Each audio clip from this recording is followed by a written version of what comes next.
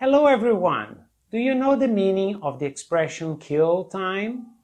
Kill time means to use time or to pass the time or to wait for something by doing something or nothing. You cannot just kill time here in the office.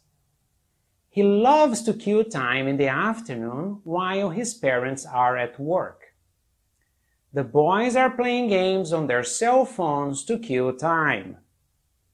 The team was killing time at the stadium before the game. Write now a sentence with kill time in the comments section below and improve your English.